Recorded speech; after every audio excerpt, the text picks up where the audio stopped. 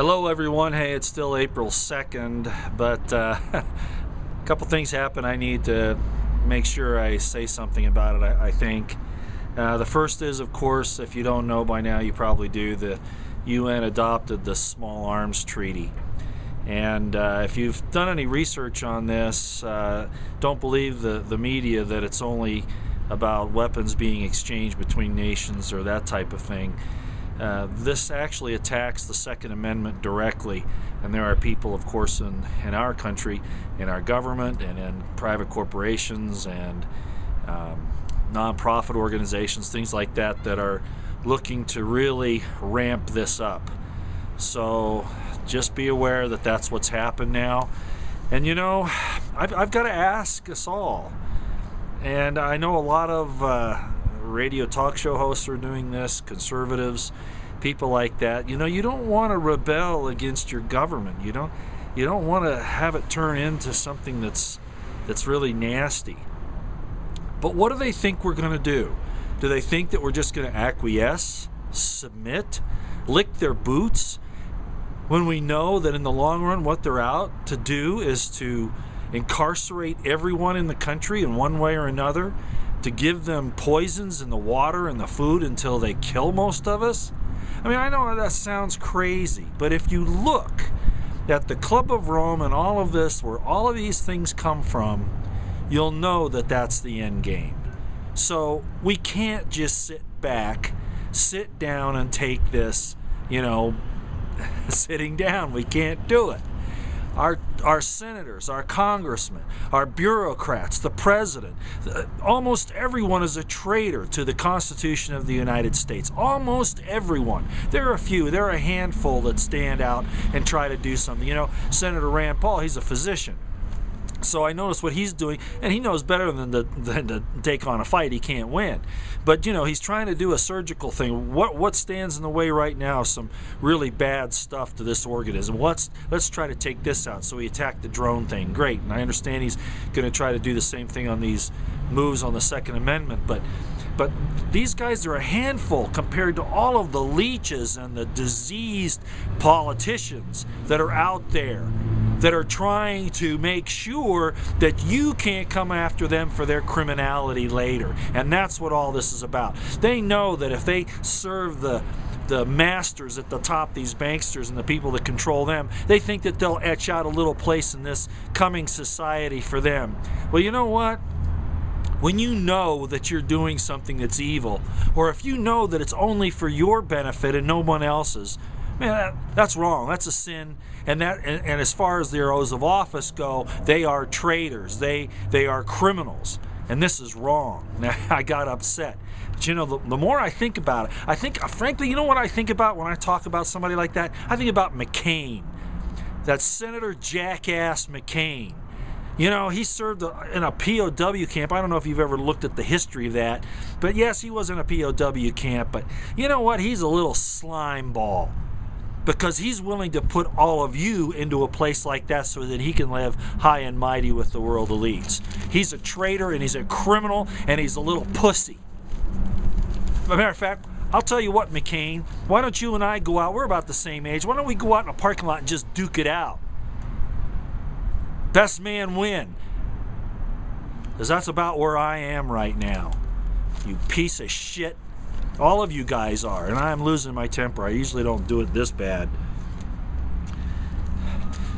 You know, they're continuing to go after vets, you know, all over the place, claiming that they have psychological problems merely because they complain about the government or or somebody else calls up and, and delivers a, oh, an anonymous message. And without warrant, without any proof or evidence, they go in there, they, they commit these guys, and then, of course, when they get out showing that, hey, you know, there's nothing wrong with them, but then they have these big court costs, and they can't get their guns back.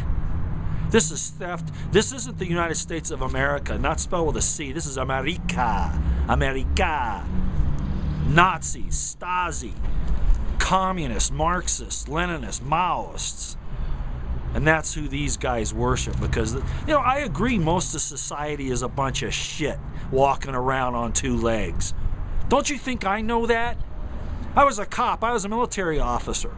You know, I've been out in the public. I know that ha- probably half our population is shit. But you know what? They mirror the top buddies and they see you guys doing all these things illegally and they just figure, well, what the hell? Not only that, but you know, you're letting these criminals in from all over the world. Our CIA tra- traffics more drugs than anybody else in the entire world has the U.S. military protecting part of it in South America and over in, in the in the Golden Triangle, and of course in Afghanistan, the largest poppy fields in the world. 90% of heroin comes from there, opium. I'm just sick of it. You know, you guys are criminals in government, all of you. You know what? Power does corrupt, and I and I realize this. You know, probably if we had a revolution today and we got rid of everybody today we'd probably have a decent government for maybe 10, 20 years, and then it'd all start over with because that's the nature of man. So I'm not kidding myself. I'm not looking for a utopia. I'm just I'm just asking you to abide by the oath that you took. And you cops and you military people, you know, if all you're doing is following orders, you're no better than the Nazis at Nuremberg. No better. And if you're too stupid or choose to be ignorant, that's what ignore means is to ignore. Ignorance means ignore. If you're ignoring your oath of office because it's simple, you just want to get your paycheck and do your job, or you want to be, you know, the great G.I. Joe or whatever. You know, if you're doing that without taking that oath seriously, you are not an American. You are a traitor too. You know, I'm just, I just can't believe how stupid Americans are. I really lost it today. I really lost it. I want to confront all these traitors in government. Most of them deserve to be hung. At least imprisoned, arrested and imprisoned. okay, you know what? This insurance, you know, anybody who understands how insurance works, and I'm not an insurance, you know, guy, but I understand that that's part of the banking system. Whether it's health insurance, car insurance, life insurance, whatever. You know, it's all part of the banking system. And you know what? Now they want to make you have insurance to have weapons. You're going to tell the very people that are enemies of this country where your weapons are? You know what? I know not what course others may take, but I'm going to say the thing, same thing that Charlton Heston said. From my cold, dead hands, and no, I'm not buying your damned insurance. And anybody who does is a coward. And anybody that comes to someone's house to try to take their weapons from them, they deserve to get shot. And I don't care who they are. This is out of control.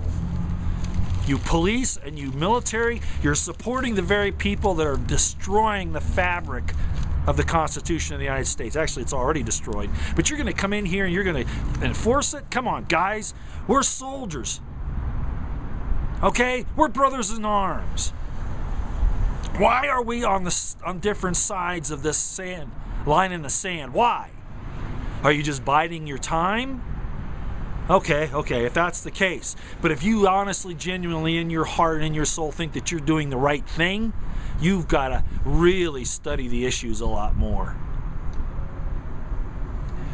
You know, our forefathers bled and died, lost their families, lost their wives, lost their children, you know, lost their properties lost their good names, and we're just all going to throw it away?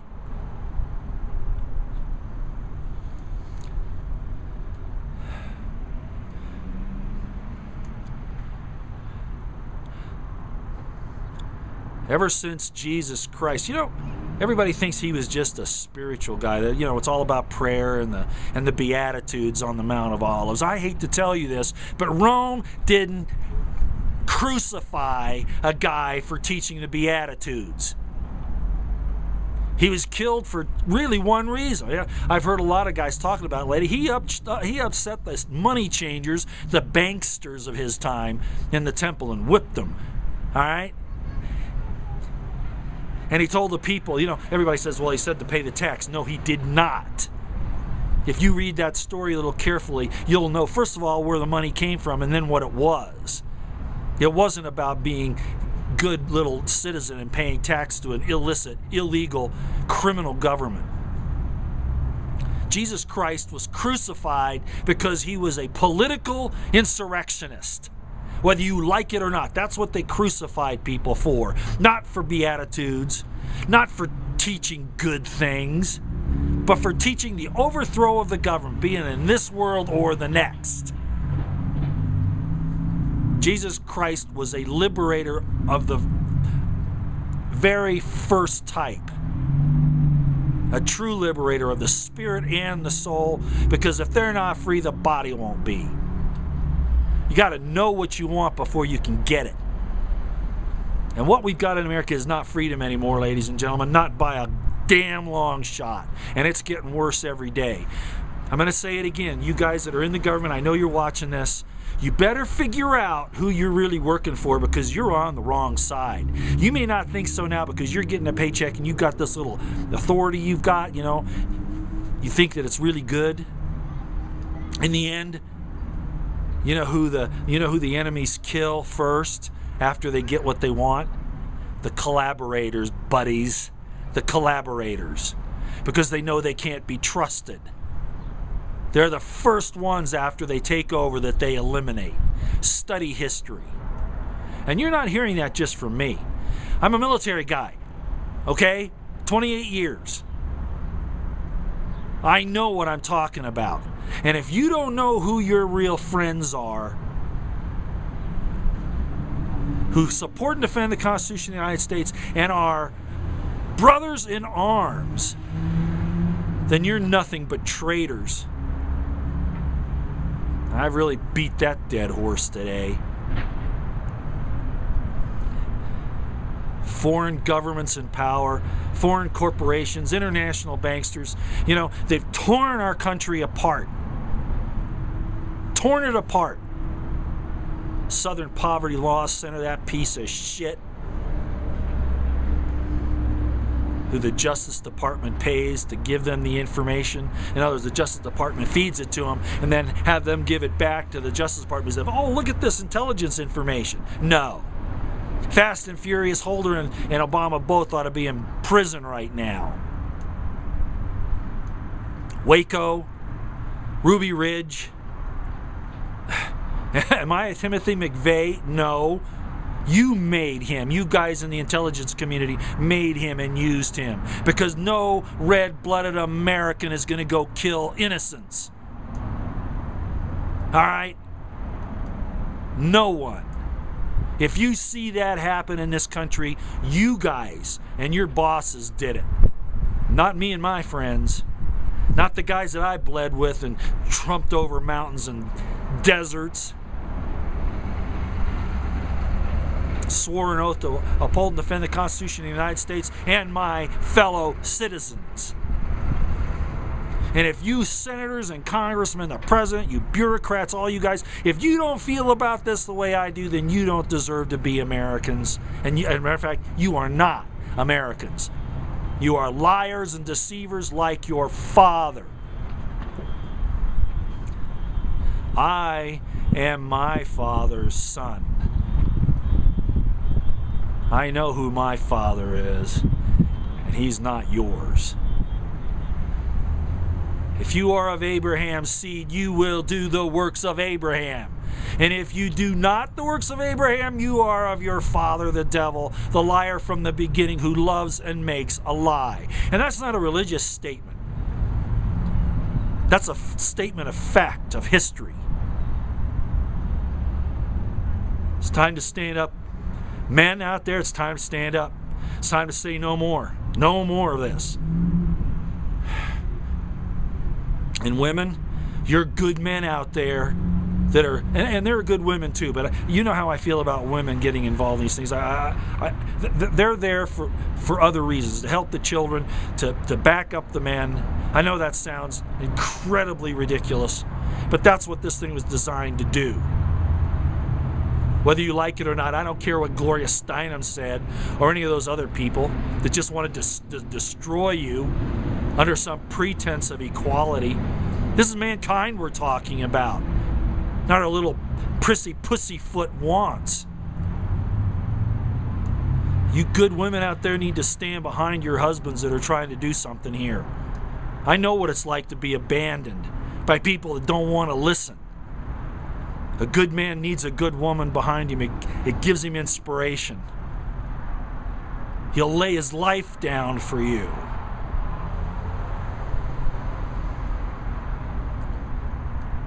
Come on, Americans, wake up. And I you know again I'm talking to the choir probably. My my channel isn't very big here. I do this more as a proof of my position on these matters so no one will say that you were silent, Roy. Why didn't you speak up? I have for 30 years.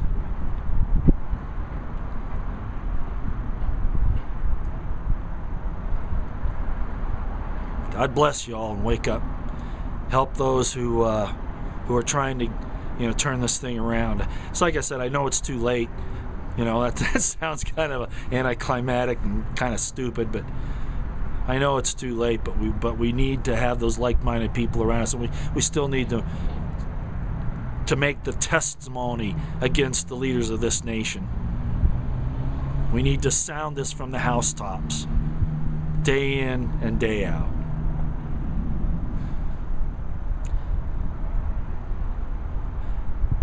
And may those of you who are of my family, may our Father look upon us and bless us and bring us again into his presence.